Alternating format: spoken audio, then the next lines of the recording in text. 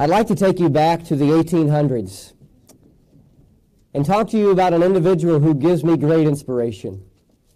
Today, when we think about inspiration individuals, we think about those like Michael Jordan, who spent his life, for the most part, putting a little ball through a hoop.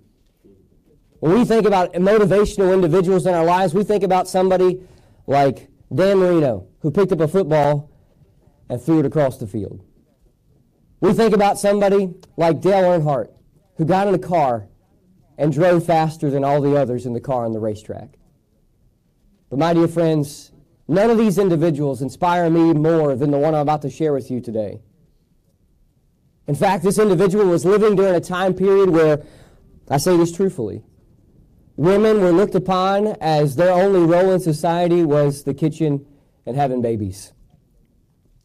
And we know that women are far more valuable than just that. Not only was this individual a woman in the 1800s, but she had dark skin. And in this time period of our culture in the United States of America, that was looked down upon. But I share with you this lady by the name of Harriet Tubman was one of the most influential people of the 1800s and the early 1900s. She was born into slavery. And she was abused in ways that nobody here today has ever thought about being abused. She was mistreated, mishandled, and she had enough. And so she was a Christian, by the way, and she was inspired, I believe, by God to, to get up and travel across what's later known as the Underground Railroad. You know, what's interesting as you study Harriet Tubman's life, you know what people used to call her during her time period? They called her Moses. And you know what Moses did? Moses led the people of Israel out of a period of enslavement to the Egyptians and carried them to the promised land. And in Harriet's lifetime, that she lived, she was taking her fellow black brothers and black sisters away from the bondage of slavery into a land of promise called freedom. Today, I'm sure you're wondering why in the world am I talking about Harriet Tubman in an age where slavery has kind of not this culture, not this century anymore. Well, we are not enslaved in ways that we used to be, but I still believe slavery is still alive and well.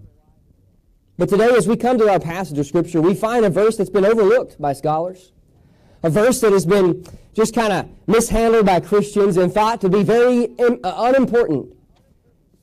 But today we find that a man by the name of Onesimus, and by the way, I'm going to give you the title of my sermon at the end of the sermon. But if I could go back into the 1800s and share with Harriet Tubman, I wonder if, if she was inspired by this man in the Bible. Because just like Harriet Tubman, this man, Onesimus, was a slave.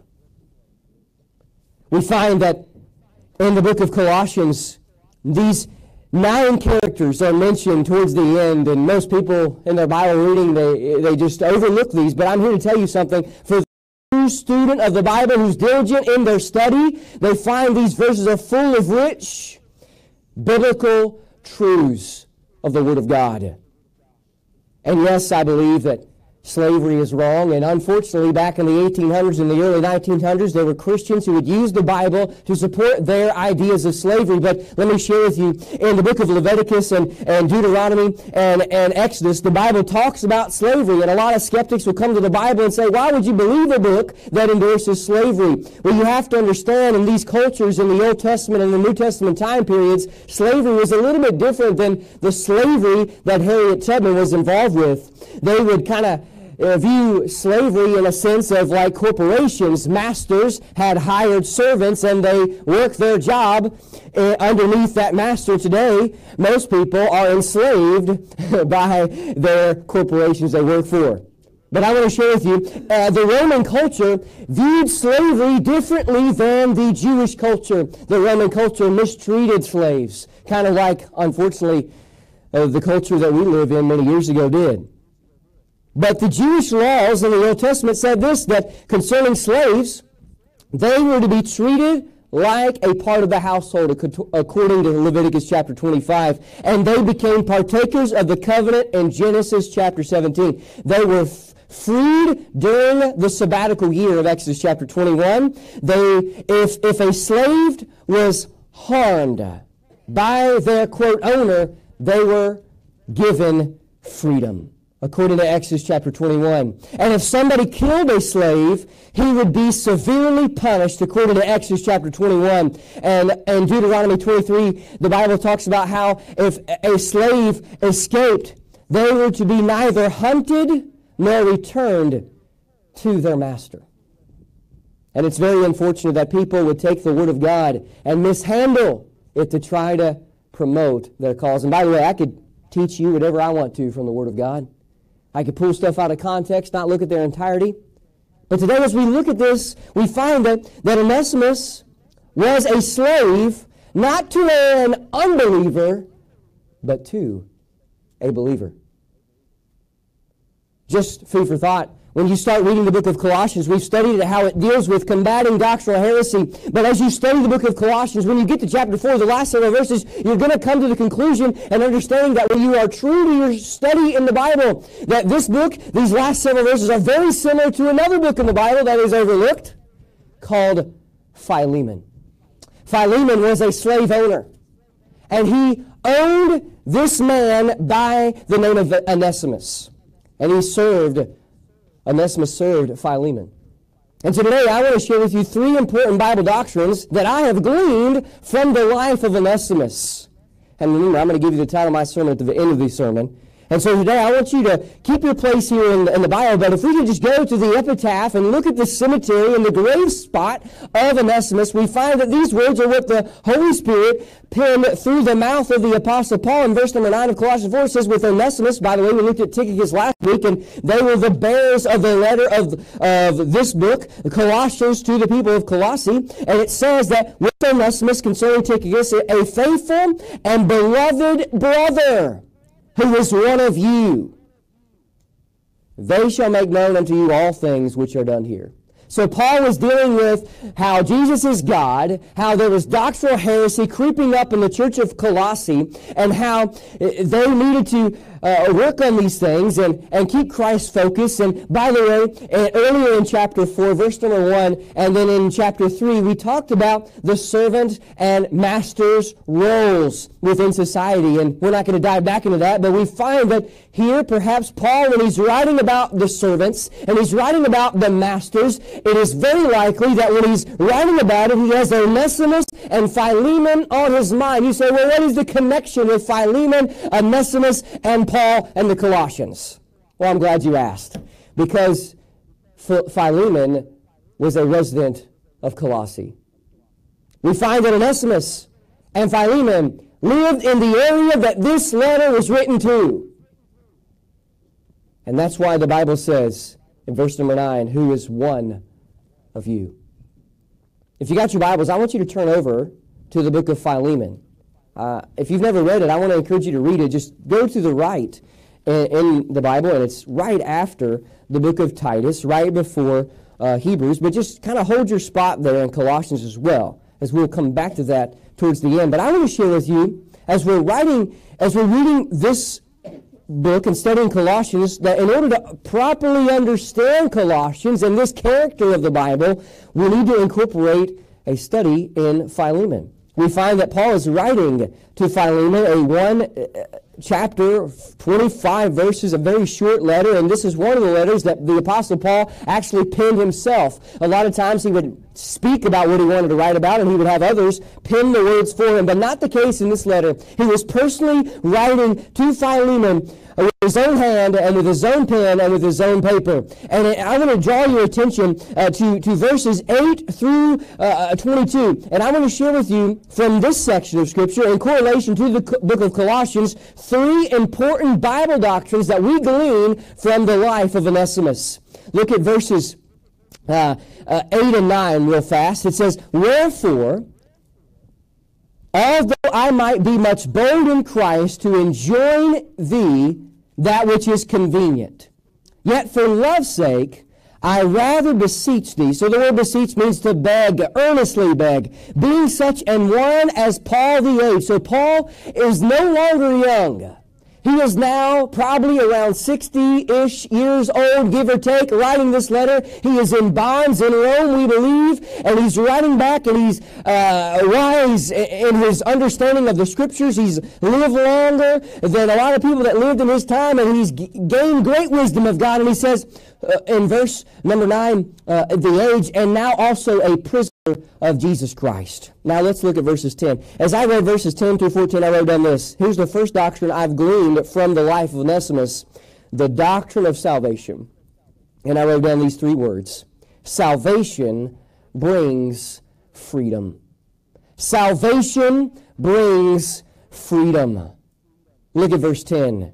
It says, I beseech thee for my son Onesimus, whom I have begotten in my bonds, which in time past was to thee unprofitable, but now profitable to thee and to me, whom I have sent again. Thou therefore receive him, that is mine own bowels, whom I would have retained with me, that in thy stead he might have ministered unto me in the bonds of the gospel. But without thy mind would I do nothing that thy benefit should not be as it were of necessity, but willingly. As I read these four verses, I the doctrine of salvation. And then I wrote down this salvation brings freedom. Just as Harriet Tubman was fed up with being mistreated as a slave, she departed and she became a revolutionary and a visionary and an inspiration to her fellow brothers and sisters in the 1800s. She was fed up with being treated as a slave, and so was Onesimus for some reason. And Onesimus left, and he was a runaway slave. And it's interesting. You see the sovereignty of God at work in the life of Onesimus. He was a slave, serving underneath Philemon. And for some reason or another, he left. And as he was running away from his earthly master, he was introduced to his heavenly master. And at some point, the Apostle Paul, we probably believe it was on his third missionary journey. So Paul had three missionary journeys, and on his third missionary journey, we, we believe that is the time frame of when Paul met Onesimus, and Paul began to share the great story of salvation with him. And he said, hey, I just want to let you know, I, I remember writing to the book of, uh, of Galatians how, how, you know, when you're in Christ, there's neither rich nor poor. There's neither male nor female. There's neither bond nor free. There's neither Jew nor Gentile for those who are in Christ. He says, I know that you've been entangled in bonds and you've been a slave and a servant, but in Jesus Christ, He looks at all of us the same. It doesn't matter if you're rich or wealthy and you live in a $30 million household or you live on the side of the street corner. It doesn't matter because God sees you for what you are, and that is made in His image. Salvation brings freedom. And so as Philemon uh, was uh, wrestling in his mind about what he was going to do with Onesimus, Onesimus finds Paul, and Paul shares the greatest news ever. And that is how Jesus died for your sins. And he paid your penalty of sin on Calvary's cross. And how he rose again victoriously and offers life. And at some point, Onesimus bowed his knee and confessed with his mouth that Jesus Christ was Lord to the glory of God the Father. Listen, I know there's a lot of people today who say all sorts of stuff about salvation, but salvation is by grace through faith. It cannot be earned by our own merit. The Bible says, for the wages of sin is death. You know, I was out soul winning at the University of Tennessee when I was in Bible college. And when I would get to that term wages, I would always ask, have you ever had a job? And I kid you not, the majority of the students at the University of Tennessee that I dealt with never had a job. Isn't that interesting? How uh, some folks, some young people, they get out of college to, to be hired for their very first job. I just thought it was astounding. I thought it was very interesting. But, but the Bible says, for the wages of sin, because of what you and I earn, our paycheck, the Bible says, is death. And that word death, yes, it means physically dying, but in the context of the passage, it means eternal torments in a horrible place the Bible describes as hell. And so it says, For the wages of sin is death. but the gift.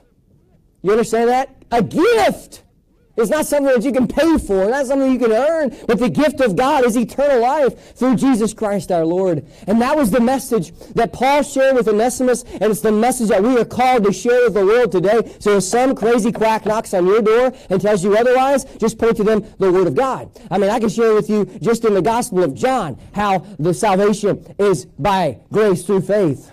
I mean, the Bible says, to as many as received him, to them he gave the power to become the sons of God, to as many that believe in his name. Listen, John 3.16 and 17, you know those verses, but 17 says, For God sent not his Son into the world to condemn the world, but that the world through him might be saved. Romans chapter 10 talks about how if we confess with our mouth the Lord Jesus and believe in our hearts that God has raised him from the dead, the Bible says, Thou shalt be saved. It says, For whosoever that means anybody. You know what that means? That means whether you're rich or poor. That means whether you're male or female. That means whether you're Jew or Gentile. That means whether you're bond or free. You can call upon the name of Jesus. And that message hit home with our dear brother, Onesimus, about 2,000 years ago. Salvation brings freedom. So he was introduced to the greatest thing. I know we live in America and we enjoy uh, great liberties that a lot of other countries do not enjoy. But the greatest freedom you'll ever experience is freedom in Jesus Christ. Freedom in Jesus Christ is the greatest freedom that you will ever experience in this life and in the life to come. In fact, if you do not receive salvation, you may have freedom on this earth, but you will not have freedom in the afterlife. If you reject Jesus Christ as Savior, you will not have the privilege of spending eternity with Christ in heaven. As I have been meditating here in the life of Onesimus and studying Philemon and the Apostle Paul, not only did I write down the doctrine of salvation and how salvation brings freedom, but I wrote down second, secondly, the doctrine of restoration as I read verses 15 through 17. Now, before I share this with you, uh, I want you to know that Paul sent Tychicus and Onesimus with the letter of Colossians to the church at Colossae. Now, Philemon had a church in his home, so most likely there were multiple churches in this city. And so they were sent to deliver a special message to the entire body of believers in Colossae. But Paul sent, guess who, to send his letter to Philemon? He sent his runaway slave, Onesimus. And in verses 15, 16, and 17, we find the doctrine of restoration. And I wrote down this restore broken relationships. Restore broken relationships. Look at verse 15. It says, Perhaps, for perhaps he therefore departed for a season that thou shouldest receive him forever. So check it out now. He said, Hey, Onesimus left underneath your authority as a runaway slave. He was lost and unsaved. But during his time running away, he was introduced to Jesus Christ, and now you can receive him for all eternity. And verse 16 goes on to say, Not now as a servant, but above a servant, a brother beloved. By the way, whether you're a CEO or just the guy or the gal scrubbing the toilets, you are important in the eyes of Almighty God. Doesn't matter if you are a politician or the President of the United States or the hillbilly from the back hills of West Virginia. You are important in the eyes of Almighty God. It says, not now as a servant, but as a but above a servant. A, be, a brother beloved. In Colossians it says, a beloved brother. And it says, specially to me. But how much more unto thee, both in the flesh and in the Lord. Now count me therefore a partner. Receive him as myself. Most likely, Philemon treated Onesimus very respectively, according to the principles in the Old Testament book of Exodus, Leviticus, and Deuteronomy. But we'll find in this passage that, in this chapter, that when Onesimus ran away, he ran away with some items in his pockets. So he stole something from Philemon. and he's running away. And so as Philemon uh, comes and sees the knock, and hears the knock at the door, and walks to the door and sees that there's a guy holding a letter, and perhaps he had a, a hat on or something covering up his face, and when he pulls it off his face, you know what he sees? He sees his runaway slave stole stuff from him. What do you think's going through his eyes, his mind? Well, probably the same thing that's going through yours right now. But Paul says, restore the broken relationship. So we see in the midst of this scene, in the midst of the book of Colossians being written in the book of Philemon, we see that God is not only emphasizing salvation, but He's emphasizing restoration. And before we can ever be reconciled with, with God in a sense, we have to also be reconciled with our common fellow men and women. If we can't get our relationship here on earth settled, how do you think we can get our relationship with Almighty God settled? And by the way, it's nothing we can do to do it. It's God's grace and mercy who intervenes and helps us. And so today, maybe you're here and your relationship with God is just shattered. And it's like a big old glass vase and it's broken into uh, 5,000 pieces. And the only way for it to get put back together is through the mighty mercy and grace of God. If you have been restored in your relationship with Christ, and you have broken relationships in your family or your friends, or coworkers or whoever. It's time that we restore those. Philemon was a master or a boss to his servant Onesimus. And according to this passage, we have every reason to believe that they restored their situations. They looked past because of their great God Jesus Christ. I like what somebody said. We're going to spend all eternity together, so we better start getting along here on this earth. May God help us do that. The doctrine of salvation. Salvation brings freedom. The doctrine of restoration. Restore broken relationships. But I want to share with you from verses 18 through 22. This is something that we don't talk a lot about, but it's called the doctrine of imputation the doctrine of imputation. Here's all what that means all my sin was placed on Christ's account. I'll say that again. All my sin was placed on Christ's account. Look at Paul's words in verse 18. It says, If he hath wronged thee, or aught, check it out now. This is the exact meaning of the word imputation, the theological term imputation. It says, Put that on mine account. He says, hey, uh, uh, Philemon, my brother, if, if, if this guy Onesimus has stolen something from you, if he owes you money, if he owes you time, if he owes you talents, if he owes you treasures, listen, just put all that on my account. You know what Jesus did 2,000 years ago? He said, as he's our, our intercessor between man and God the Father, he says, um, I'm just going to take all of your nasty, filthy, dirty, rotten, wicked sin, and I'm going to put it on my account. And so when Jesus died 2,000 years ago, every lie you've ever told, every inappropriate thought you've ever thought about, everything you've ever said that was hurtful or wrong, everything you've ever done that was sin against God, it was placed upon Jesus. And He has taken His righteousness and He's imputed His righteousness to you and to me. So now when He sees us, when He sees me, He doesn't see a black-hearted, sinful Brian. He sees a pure, chaste, child of God because of what Jesus Christ has done. The great reformer, Martin Luther, 500 years ago, as he was studying Philemon and Onesimus and the life of Paul, you know what he said about Onesimus? I thought it was true. He said, We are all the Lord's Onesimus. There was a day where we were all like sheep who have gone astray. We were running so fast and so far from God that we couldn't hear the sound of the still small voice called the Holy Spirit. But there was a day where He reached out and He saved your soul and saved my soul.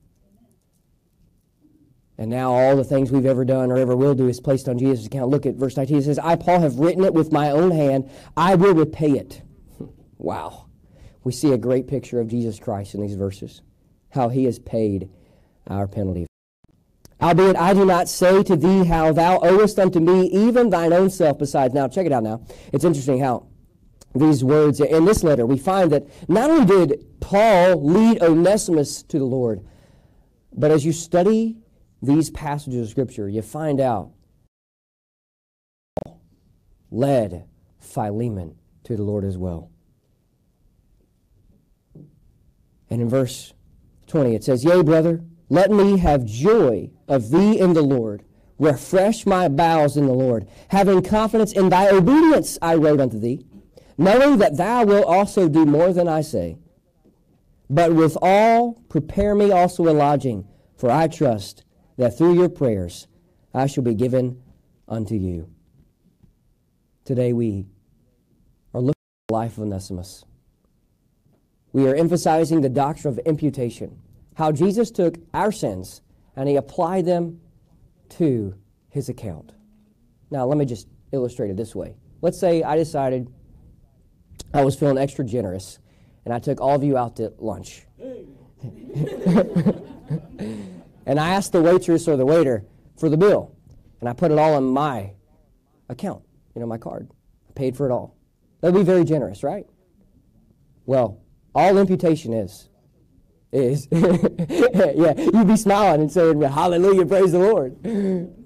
You see, I, I, find it interesting that that whenever somebody buys something for somebody else, if it, they were buying it, they would they would get the cheapest thing on the menu. But when somebody else buys it for them, they get the most expensive thing on the menu. So I know it's going through your minds right now that if I took you out to eat, you'd be saying, I'm going to get the most expensive thing on that menu and drain your account. well, it doesn't matter if you would get the cheapest thing from the menu or the most expensive thing from the menu. It doesn't matter if, your if your meal was a dollar or a thousand dollars. It doesn't matter if you've only sinned a little bit in the eyes of God. It doesn't matter if you've sinned greatly in the eyes of God.